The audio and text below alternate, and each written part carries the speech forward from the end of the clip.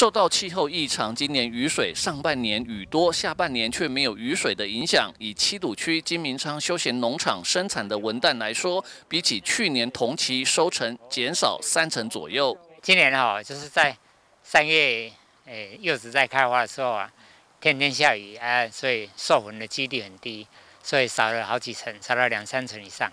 农场主人张清波进一步表示，原本一棵老长文旦树可以结果上百粒文旦，结果今年不少文旦树大概只有结果六十粒不到，还要从别的文旦树采摘文旦补偿给认养文旦树的客人们，因为当初保证一棵认养的文旦树可以结果六十粒文旦以上，啊，所以本来我一百五十棵嘛，我自己都给人家认养一百棵，啊，其他五十棵是去年自己留下来，还拔了四五千斤。啊，所以今年哦，五十棵留下来，只是说把补给不过六十棵的，每一株树都要有六十棵柚子，保证的啦。啊，如果没有六十棵，我就补它。所以今年哦，就自己五十棵就留下来，就补给那个不够的人，就这样。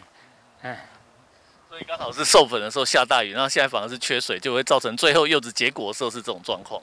对呀，啊，现在像来一来就开始一直好天。所以我现在这几天都是拿水管在浇水呀，就是不浇水的话，柚子长不大；所 以变成太热的话，那个连叶子都弯弯的，就是叶子就没有水分啊。所以我我这几天都一直浇水。我们张老板，尤其要帮这个一些认养的人照顾得很好，也非常诚信。尤其我看，虽然说他刚才所讲的，因为下雨的关系，可能减少了三成，可是他还是照顾得无无微不至啊！啊，特别感谢他。张清波指出，他种植文旦几乎不用农药，采用吊挂黄色捕蝇屋，自然抓果蝇的方式，避免虫害。结果上半年雨水太多，影响果树授粉开花；下半年却因为几乎没有雨水，自己又要想办法拉水管，用溪水灌溉补水，避免文旦树无法结果。不过气候异常，还是导致文旦树欠收。记者吴俊松基隆报道。